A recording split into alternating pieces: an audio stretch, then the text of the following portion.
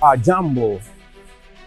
Jina yangu niko ninaita Nyembo Patrice na niko mmoja mnajua kati ya African Community Council, natumika pale.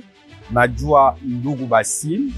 Ndugu Basim ni mtu mzuri, tulikomea naye hapa Fairfield, tunekala naye miaka mingi. Uh, alianza kufunda pale karibu ya nyumba yangu uh, Fairfield High School, na vile anaenda ku university ya Milpera, nilikuwa naye na mimi nilifunga kule, na wakati anaisha anaanza kutumika, minamujua anakuya kwangu, tunaongea na tunafanya makazi yote juu ya community yetu ya hapa Fairfield, na mimi naona ni mtu mzuri, hatuwezi kufanya kitu kimoja juu ya hii uh, fashi yenye tumekala hapa kumsaidia mie, mimi naona hakuna shida, tuwezi kumunga mkono. Asante.